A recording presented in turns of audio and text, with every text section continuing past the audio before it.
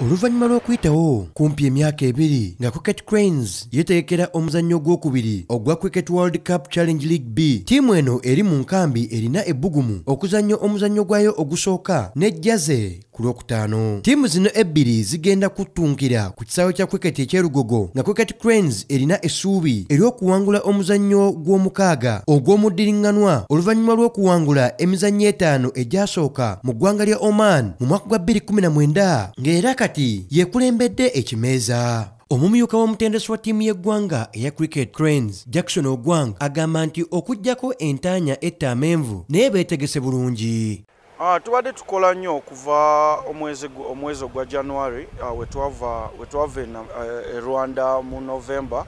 Uh, tetwafuna break ey'amaanyi nnyo abaana bakomawo mangu okuva olwo tu- tu- tupracticinga kubanga tumanyi tulina emyezi esatu ezidecidinga future yaffe. Ttiimu ya cricket cranes yalina emizannyo e namibia mu mwezi ogwokuna okubayamba okweteekera empaka zino. Era jackson ogwang ayongedde n'agamba nga emizannyo gino ne namibia we gyabayamba. Tubadde tukola bulungi tubadde tupracticinga recently twalina etuwa e namibia tuwa yatuyamba nnyo ya- yatulaga kye tulina okukolako ne kye tulina okwongerezako ebirungi bye twakola e namibia